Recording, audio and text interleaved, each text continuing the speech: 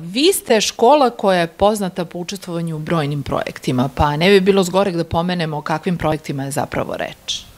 U zavisnosti od e, specifične situacije, u stvari u ovoj pandemiji, koja nam negde otežava realizaciju mnogih aktivnosti, mi smo se opredelili na e, zapravo da nastavimo na nekoliko projekata koje smo započeli u prethodnom periodu. I to su međunarodni projekti, što ne znači da ne realizujemo i one unutar naše države, kao što je profesionalna orijentacija učenika, na čemu radimo, i niz drugih projekata koje mi realizujemo. Ali posebno bih stavila akcenat na a, ova dva, tri međunarodna projekta koje je u realizaciji. Jedan smo započeli pre dve godine, tako je pre, ovo je druga godina, Erasmus Plus, tu saradnji sa školom iz Slovenije i Litvanije.